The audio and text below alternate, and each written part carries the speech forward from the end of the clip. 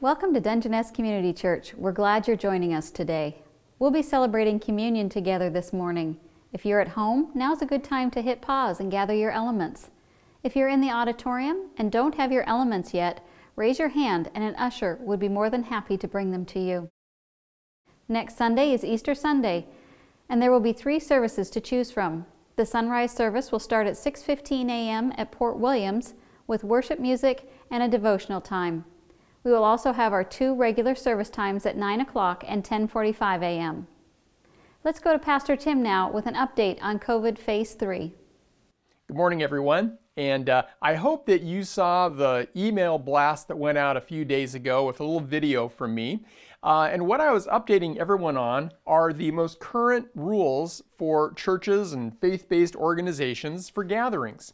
And uh, here's all four pages of it. But the good news is that they're now saying that we can sing as a congregation. Uh, the only thing they're asking is that we continue to wear masks. Uh, they say a three layer mask. Well, it turns out that these little disposable masks count as a three layer mask. Or if you have one of those nice cloth masks, uh, that counts as a three layer mask as well. So uh, we will be singing together today. Also, we can sit closer together. Uh, we ask that you leave two seats between groups, but groups can be larger. Now 15 people can sit together as a group if they so desire. So if there are people you want to sit with, make sure that they're ready to have folks sitting next to them. But if they are, groups of up to 15 can sit together and then just leave a couple seats before the next group. Uh, so we are excited to see these changes just in time for Easter and especially that we can sing. So this morning, at our in person service, uh, sing. Sing to the Lord. Thanks, Tim. It's almost time again for our free monthly movie. We will be meeting on Monday, April 5th at 7 o'clock p.m. in the chapel, and we'll be showing the movie Soul Surfer. It is the story of a teenager named Bethany Hamilton who loses her arm surfing due to a shark attack.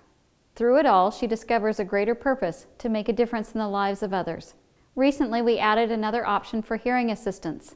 We now have Bluetooth and T-coil or telecoil available. If you would like to take advantage of this, please contact us during the week or feel free to stop by the sound booth before or after a service.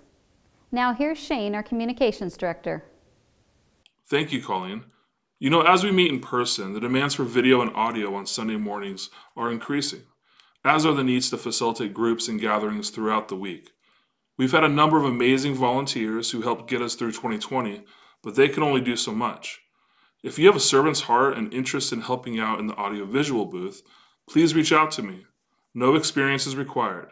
We will be glad to train you and find a spot that works well for you and your schedule. Call the office or email me at shane at dcchurch.org.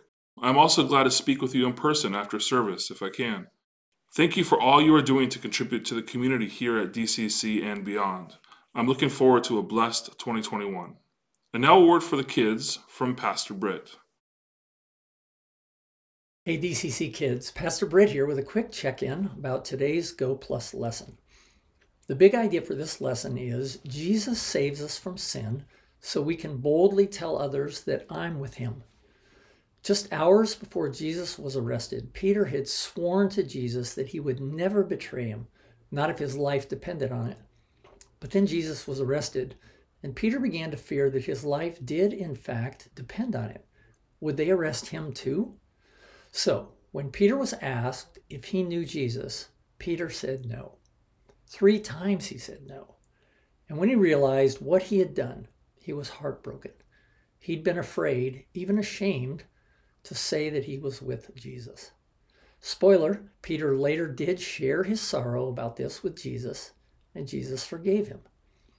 The memory verse for this week's lesson is Romans 1:16.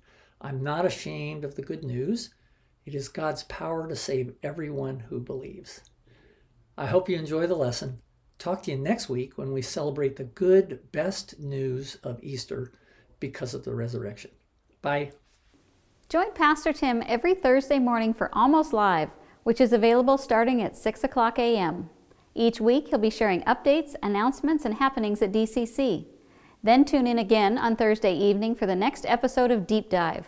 This week features Pastor Tim talking to some of the folks involved in our care ministries. Now, let's join the worship team to praise our Heavenly Father. Have you been feeling buried lately? I know I have.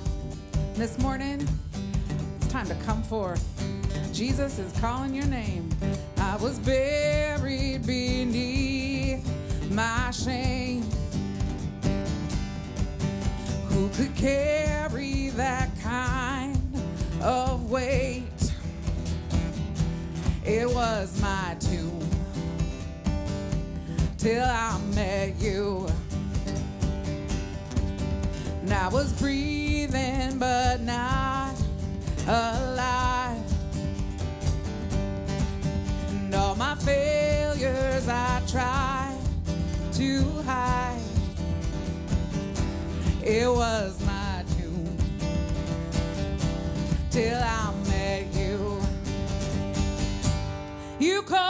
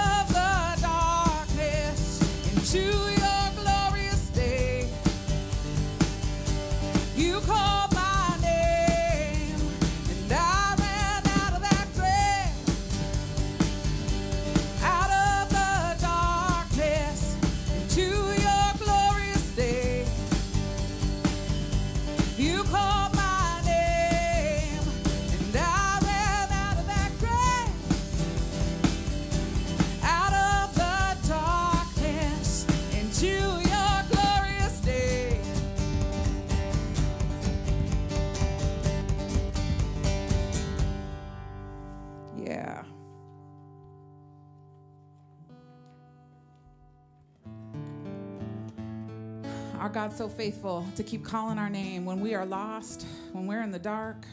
He is our light, He's our living hope. He keeps pursuing us. He's faithful and good. How great the chasm that lay between us. How high the mountain I could not climb. In desperation, I turned to heaven and spoke your name into the night. Then through the darkness, your loving kindness tore through the shadows of my soul. The work is finished, the end.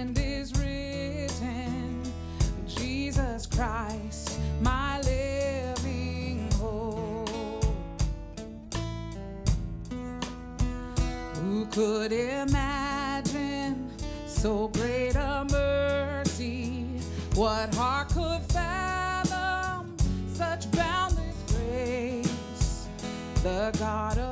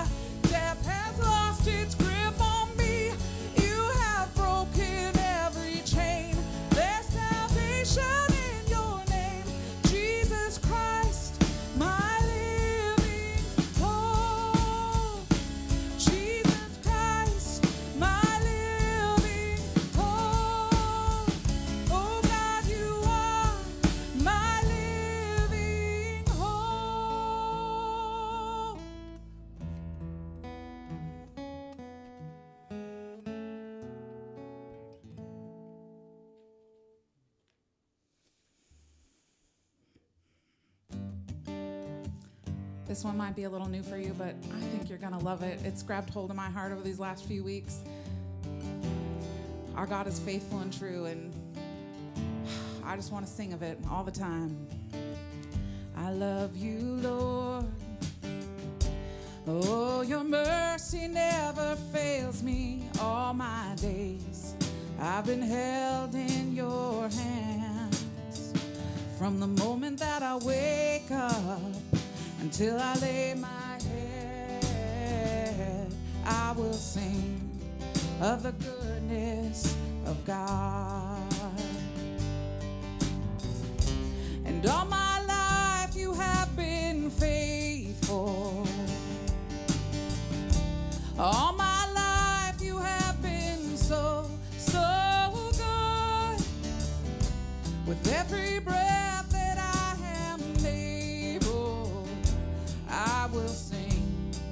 of the goodness of God. I love your voice. Oh, you have led me through the fire and darkest night. You are close like no other. I've known you as a father. I've known you as a friend. I have lived in the goodness of God.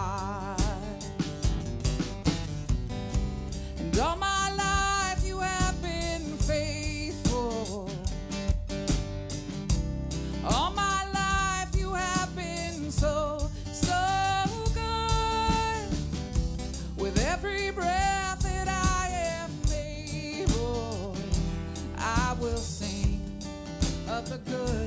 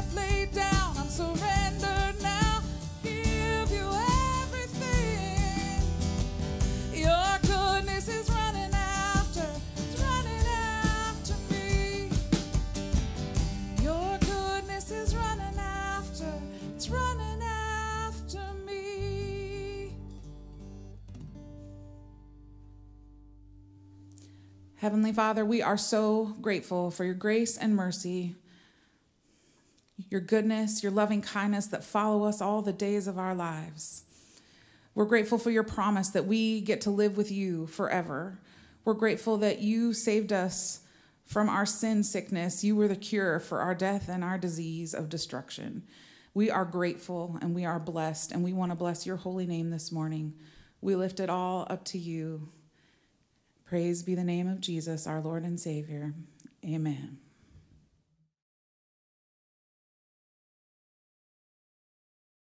Today we're going to be celebrating the Lord's table. And if you haven't yet collected your elements, why don't you pause the video for just a moment so you can go and do that. The Lord's table is a symbol of both remembrance and identity. In the symbol of the bread, Jesus gave us a reminder that his body was broken for us. In the symbol of the wine, Jesus reminds us that his blood was shed for us. But the symbols we were given are symbols that we eat and drink. They literally go into us and become part of us. They're food for our body. And in the same way, Jesus did not call us to simply remember him as a historical fact. He calls us in faith to take him in, to embrace his life as our life, to let his spirit be the animating force of our lives. Now, today is Palm Sunday. It's the remembrance of a historical event, the event of Jesus making his final entrance into Jerusalem. It was an entrance that was hailed by those who loved him as they gathered around and cheered and even threw their coats and palm branches before him as he rode in. But it was an entrance also that was hated by those who were jealous of him. And it was an entrance that, despite the cheering throngs, Jesus knew full well would lead in just a matter of days from a place of fame to a place of humiliation and indescribable suffering. His body would be broken, his blood would be shed. But that end would not be the end.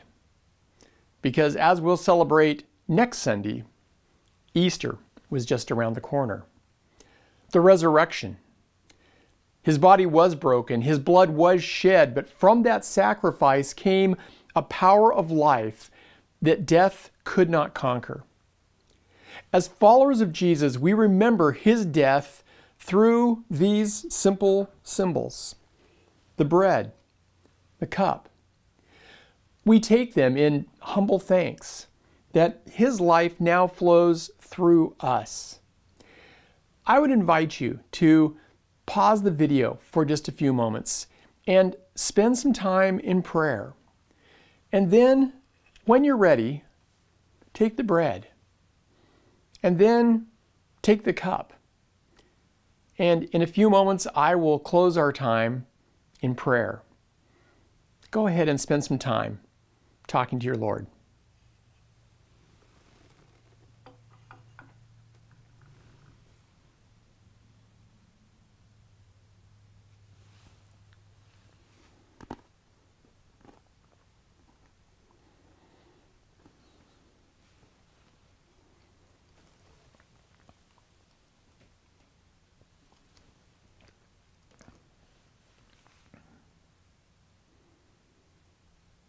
Lord Jesus, thank you that on this Palm Sunday, we celebrate the fact that your life was given for us.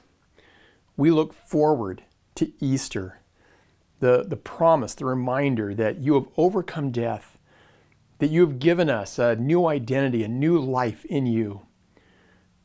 Thank you for what this bread, this cup remind us of that not only is it a fact for us to look back on, but that you are a living reality in our lives today.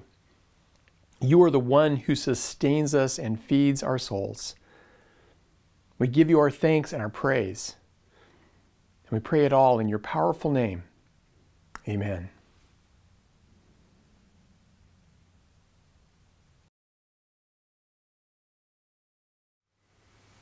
Today we're going to start a new series but it's really a continuation.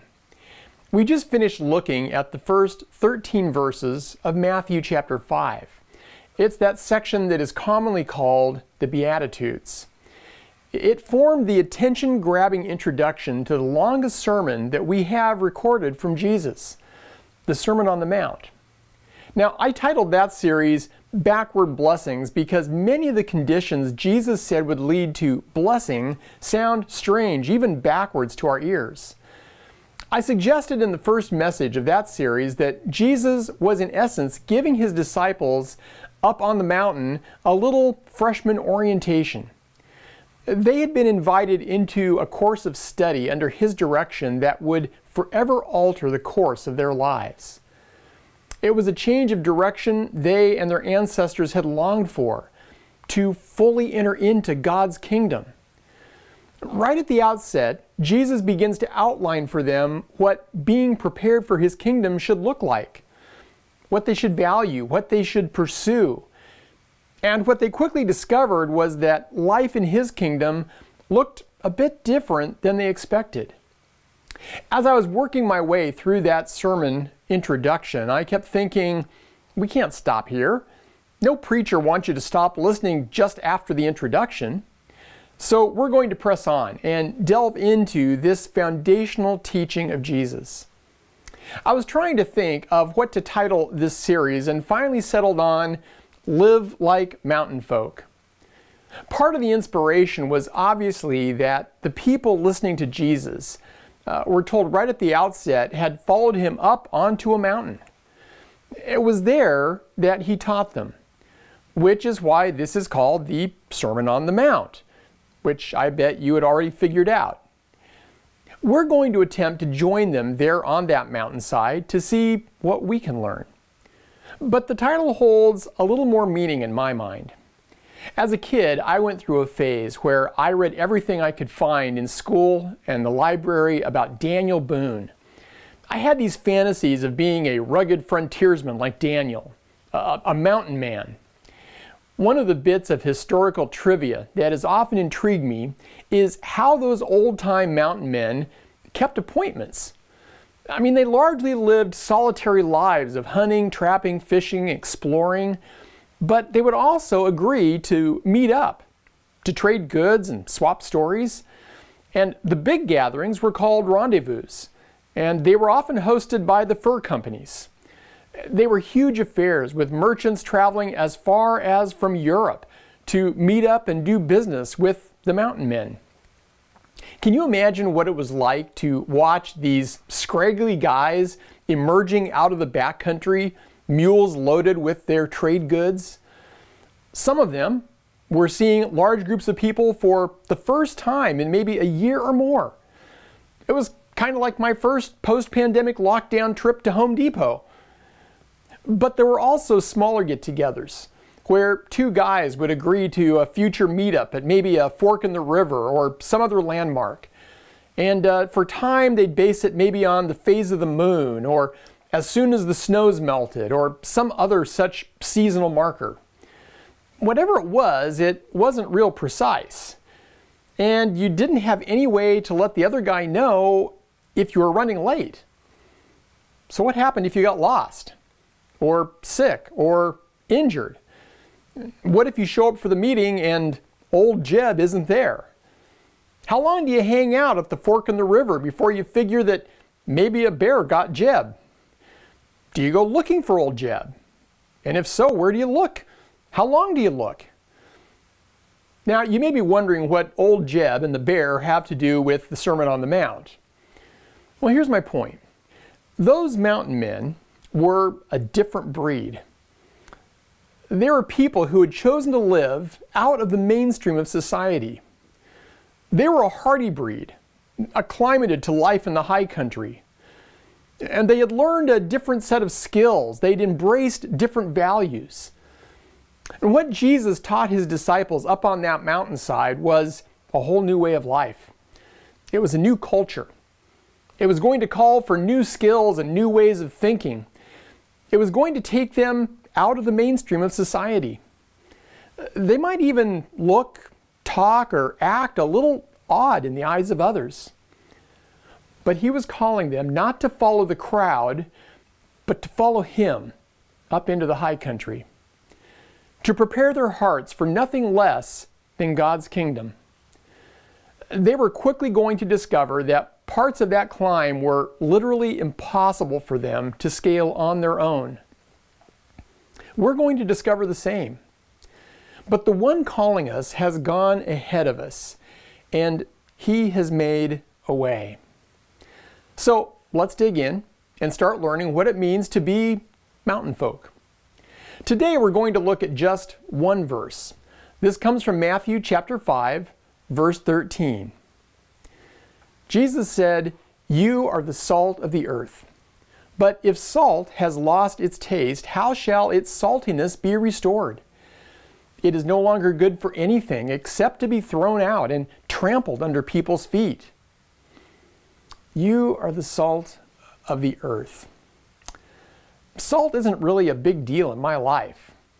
I mean, there is a small shaker of the stuff in our kitchen, and we like to add it to food for some flavor, but that's really about it. Now, if you have livestock, you realize that salt is a little bigger deal. Large animals like cows and horses and uh, goats need salt added to their diet to stay healthy. And, and a little salt shaker is not going to cut it for a 1,200 pound cow. And that's why feed stores carry salt blocks. In fact, when I went to pick up this salt block, it was one of the smaller ones they had. I could have got a 25, I think even a 50 pound block of salt. But salt in the old world, especially in a hot environment like the Mid East, was vital not just as a seasoning, but as a preservative. At the historical moment in which Jesus was teaching, there were no refrigerators. Now, we know that ancient civilizations knew how to harvest ice. They could even store it and use it uh, for long periods by building these insulated pits. But those things were incredibly labor intensive, and it was the sort of luxury that was only enjoyed by the rich and the powerful. The far more common method of preserving food was with salt. Pliny the Elder, a Roman naturalist and philosopher, military leader who had lived about the same time as Jesus, said in his book Natural History that nothing is more useful than salt and sunshine. Now, when Jesus talked about salt, the first thing that his listeners thought of wasn't just flavor, but preservation. And what was it Jesus said needed preserving? The world. Now, when we talk about preserving in this sense, we aren't talking about maintaining the status quo. That is one kind of preservation for sure. Here in our local area, we have the North Olympic Land Trust. It's a group that raises funds and works to preserve farmlands and other open spaces. Uh, we see value in keeping some of those spaces the way they are rather than allowing construction or other development. In that sense, preservation is simply leaving things the way they are. The other kind of preservation is when we act against the natural course of things to prevent things breaking down. I paint my house from time to time because if I didn't, the wood would naturally weather and split and rot, and eventually my house, left completely on its own, would become unlivable. I put milk back in the refrigerator for the same reason.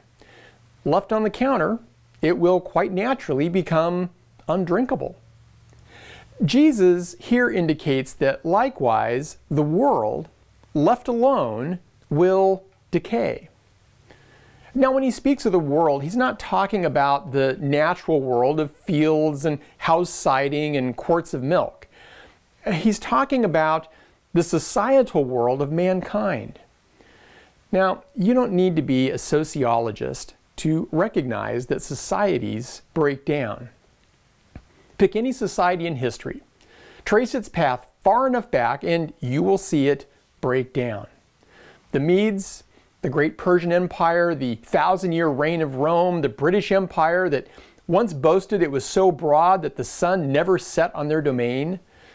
Hitler, who believed that he could build another thousand year empire like Rome, which, by the way, only lasted 12 years. And if you pick through the ruins of all those great civilizations, you will find that they usually rotted from the inside out.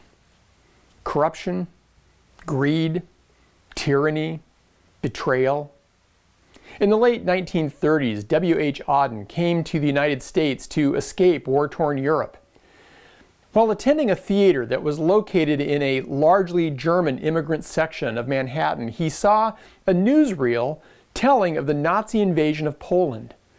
And as pictures of the Polish people appeared on screen, Auden was stunned to hear people chanting, Kill them! Kill them! Auden, who identified himself as an atheist and believed in man's innate ability to evolve and improve, was stunned by what he heard. What he suddenly saw was that human nature was not intrinsically good. Left to their own greeds and prejudices, societies decay. That realization started a spiritual quest that ultimately led him to Christ. Speaking to our own time, Shadi Hamid wrote an article in this month's issue of The Atlantic titled America Without God. Addressing the increasing polarization of our society combined with the decrease in religious life in America, a 50% drop since 1998, the sharpest in U.S. history, he notes this if secularists hoped that declining religiosity would make for more rational politics, drained of faith's inflaming passions, they are likely disappointed. As Christianity's hold in particular has weakened, ideological intensity and fragmentation have risen. John Stott says, The world is putrefying. It cannot stop itself from going bad. Jesus knew that reality well. But his answer wasn't political revolution. He never raised an army. His answer wasn't an educational program. The, the problem in society isn't a lack of information. Our world has never been more educated and informed. But does it honestly look like we're really getting better? Is there more peace? Is there less greed? Is there less dishonesty, less betrayal? His answer was a call to a small group of men and women to follow a different path, to follow him, and then somehow through that relationship become a preserving influence in their world.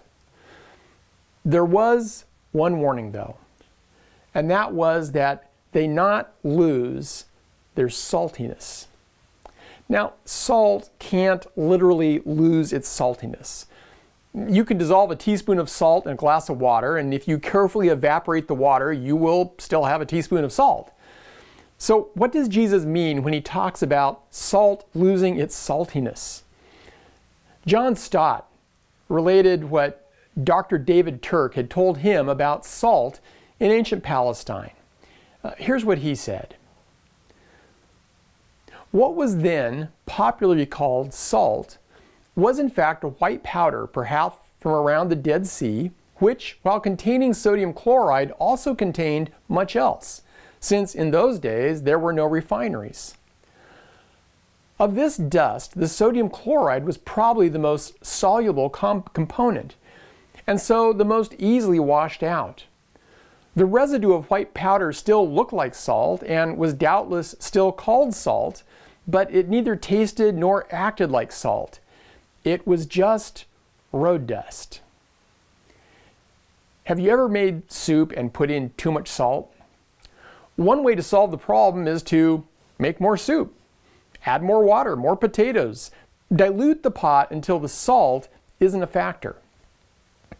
What Jesus is warning his followers about is allowing their lives, their values, their choices their priorities, to become so diluted, to take in so much of the values, choices, speech, priorities of the decaying world system in which they live that they cease to have any distinct influence. We sound, look, and act so much like everybody else that it would be a real surprise to them if they found out we went to church on Sunday. So, what does a salty Christian look like? Well, that really takes us back to the opening statement of this sermon, the Beatitudes. Recognizing our own poverty of spirit and renouncing our pride. Mourning over sin, showing meekness rather than demandingness. Hungering, thirsting for true righteousness. Seeking to live and treat others with purity. Making peace, seeking reconciliation standing for what is right in God's eyes, even when it earns us the scorn and abuse of those who do not value His ways. Those things earn favor in God's eyes for sure. Jesus proclaimed those who embrace such things blessed, and He promised them great future blessing.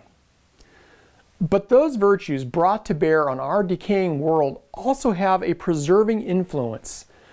They help stop the rot. The continent of Africa has long been a place of both great opportunity and development, but also great suffering and poverty. Matthew Parris grew up in South Africa, later moving to England as a journalist. And then some years later, he returned to the land of his birth, eager to help in humanitarian aid projects. From that experience, he wrote an article in the Times of London back in 2008 titled as an atheist, I truly believe Africa needs God.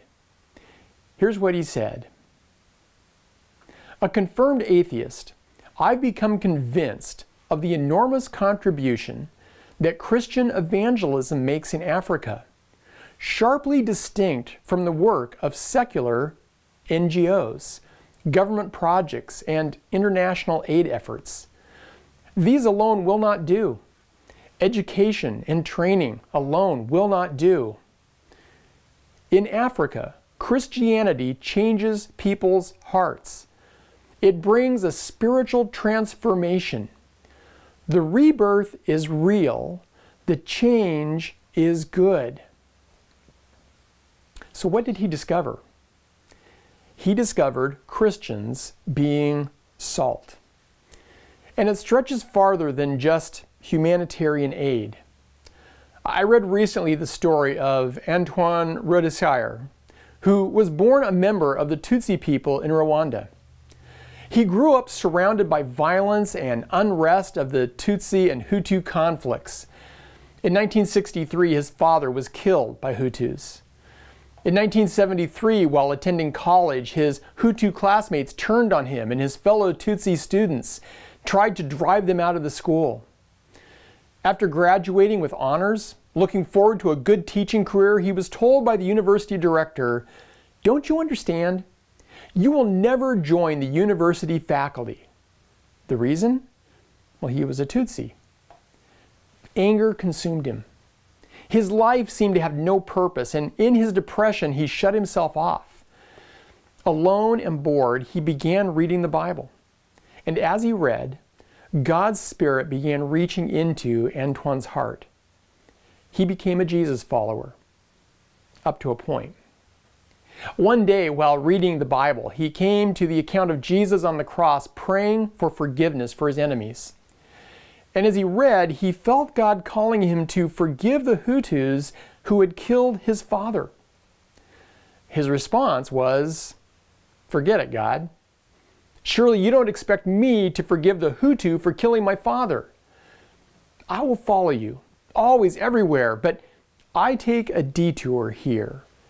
I cannot forgive them. And thus began a two week wrestling match in Antoine's mind and heart. Eventually, though, God brought him to the place of forgiveness.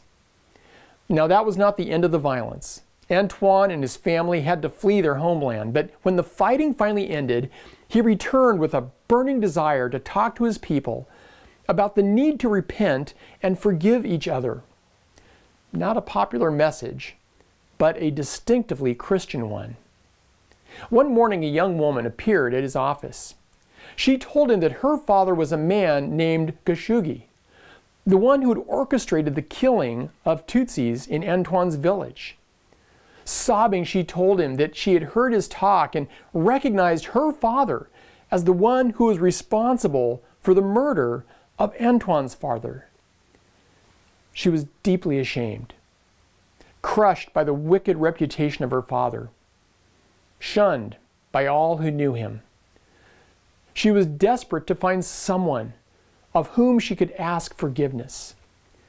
When she heard Antoine's talk, it gave her a glimmer of hope Perhaps someone would forgive her.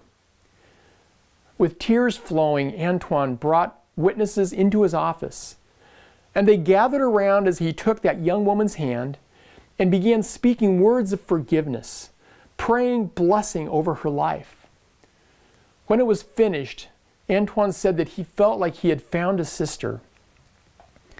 Stories like Antoine's were repeated all across Rwanda by Christians following in the painful and yet life giving steps of Jesus. Because of it, countless lives were saved by the simple and yet profound act of Christians doing something distinctly Christian forgiving their enemies, showing mercy, making peace rubbing the salt of the gospel into a culture corrupted by hatred and murder. So, how do we become salt in our community? Years ago, Becky Pippert wrote a book titled Out of the Salt Shaker. Uh, her point was that Christ did not call his people to huddle up inside the walls of the church. Uh, we're not called just to be a, a salt block, if you will, and wait for people to come to us. We are called to engage with our world, to live out and proclaim the message of Jesus, to go out there in the same way that you want salt to get out of the salt shaker. Salt has to get out and get into the world if it's going to have any real effect. The first place we sprinkle is in our neighborhood. It means that we treat our neighbor across the fence, the contractor who's working at our house, the clerk that we meet at the store, the waitress who comes to our table, the teacher in our child's class.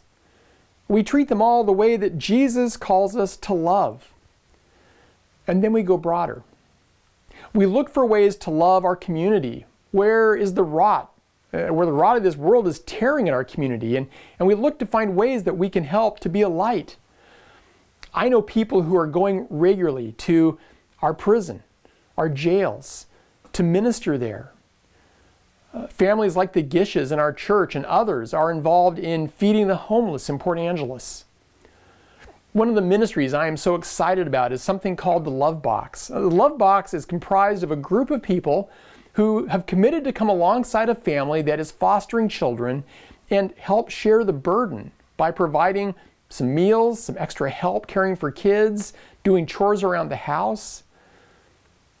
There's a perfect place where followers of Jesus who hunger for righteousness are stepping into an area of genuine need to bring love and help. Our Celebrate Recovery Ministry helps those who have been caught in addictions to find freedom. The Lilies of the Valley Home is providing a safe place for women in recovery. Obria provides help for women who might otherwise believe abortion is their only option. So, where could God use you to help make a difference? To be salt. Remember, though, that first and foremost, we need to be people who have our eyes firmly fixed on Jesus that our choices and priorities stay firmly rooted in His. Otherwise, we will lose our saltiness. We'll become just another special interest group with a polluted and mixed motive and agenda. And perhaps nowhere is that more important than this next area that I want to discuss briefly politics. Politics can affect great change, but it is messy business. If you want to see an area where the pursuit of righteousness can quickly become diluted with compromise and power plays, you need look no further. There are plenty of examples of people who entered politics with high ideals only to become part of the system and in the end have their saltiness look like little more than ancient Palestinian road dust. So, should Christians avoid politics? Absolutely not. Followers of Christ should engage in politics just like we should engage in business, education, agriculture, entertainment. Diluted salt is no good, but neither is salt that isn't sprinkled into the full spectrum of society. I spoke to this a few weeks ago, and it was so encouraging the wave of positive response I received from so many of you. Without rehashing what I said then, let me think with you a bit more about this issue of the church and politics. I promise it'll be brief. As I've been studying the Sermon on the Mount, I've been reading Martyn Lloyd-Jones' classic Studies on the Sermon on the Mount. The book was published in 1960. Uh, Martyn Lloyd-Jones was a Welsh minister who pastored Westminster Chapel in London for almost 30 years. Now, in his day, one of the hot topics was the rise of communism and his atheistic worldview. But let me share a bit of what he said to another people in another time that I think still has a lot of wisdom for us in our time.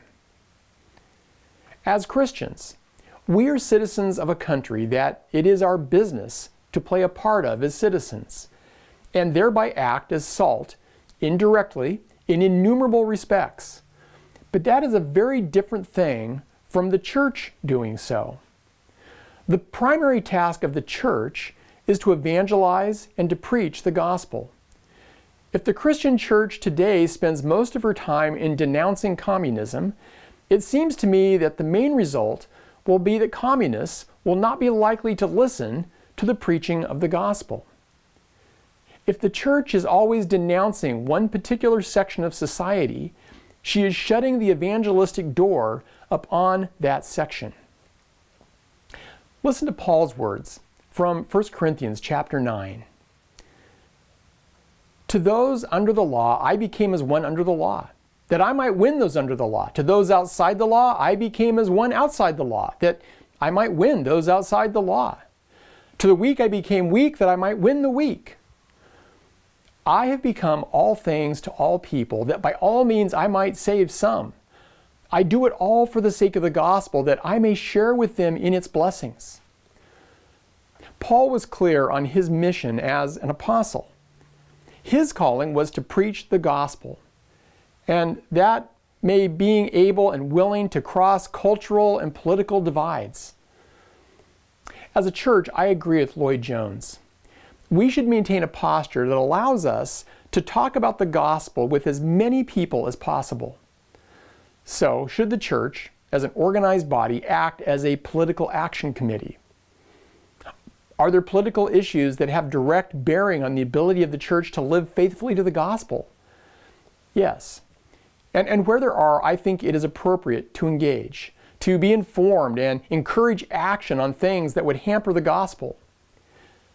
Are there political issues that have direct bearing on significant moral issues? Well, of course, and I think it's appropriate to address those. We believe that laws which protect life in all its stages are vital and should be apolitical. Where it gets murky is that almost every political issue has some aspect an informed Christian can have legitimate, faith driven concerns over. However, if we let the church as an organization embroil itself in all of those things, I guarantee you some ugly things will come from it. The first is division. There are sincere, biblically informed followers of Jesus who have sincere, thoughtful, and faith driven points of disagreement when it comes to politics.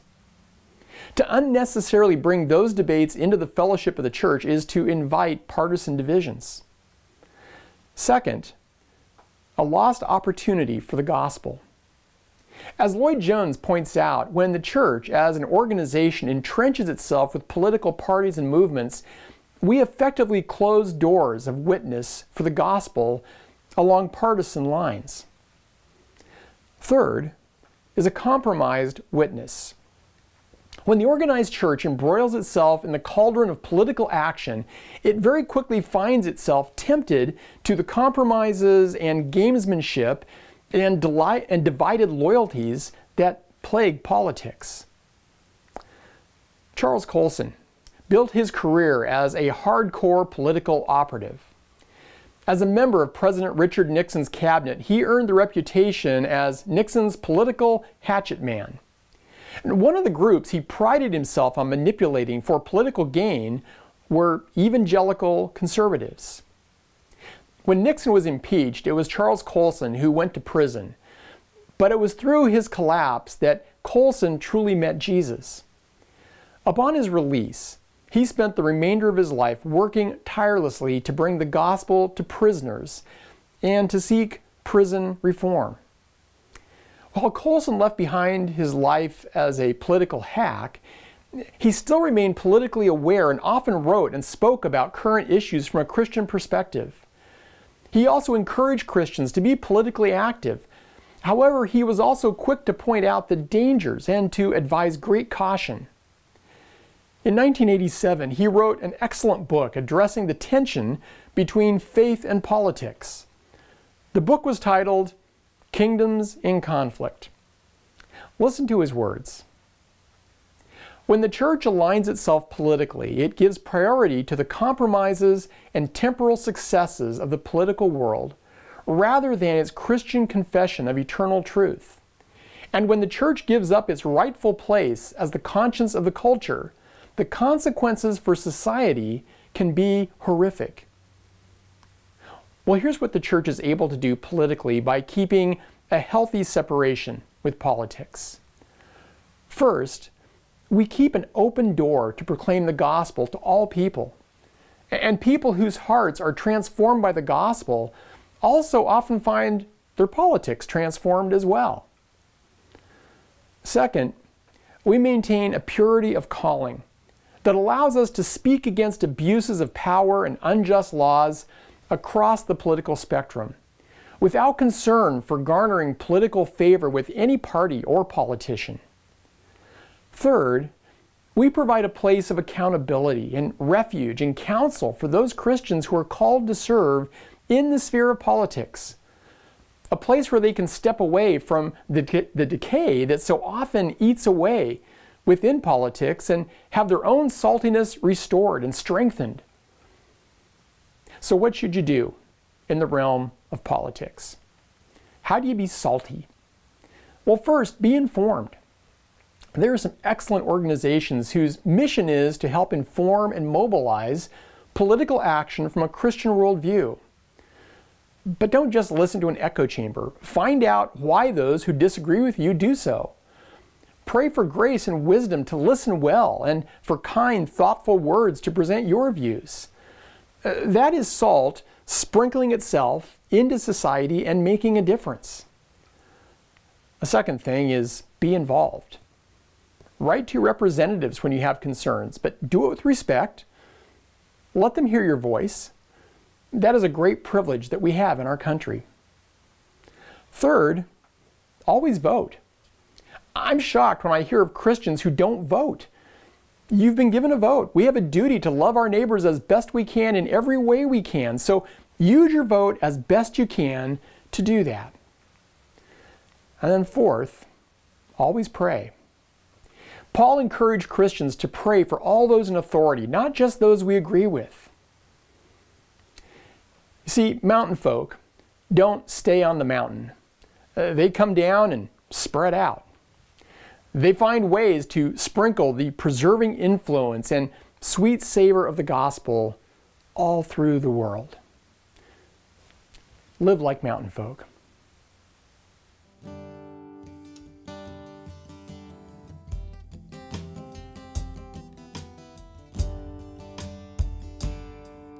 Amazing grace, how sweet the sound that saved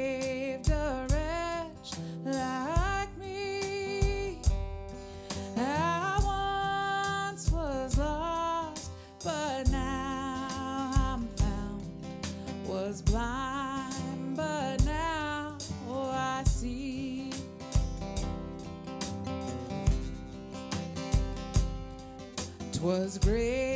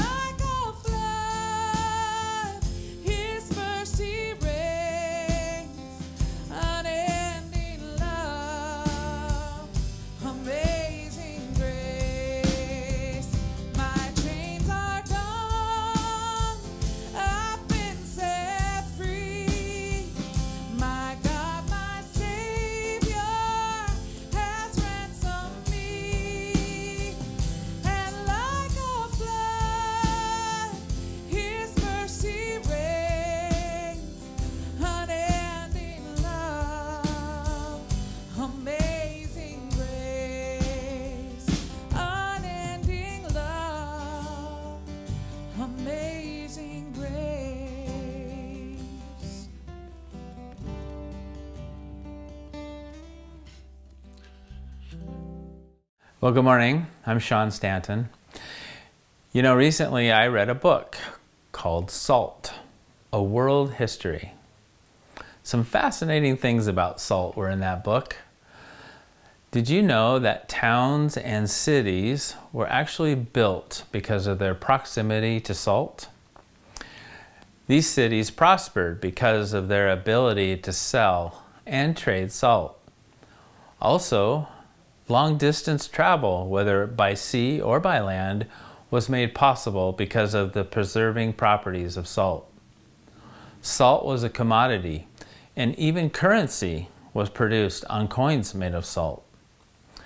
And then lastly, did you know that salt is the only mineral that we eat? So those are some fun facts on salt.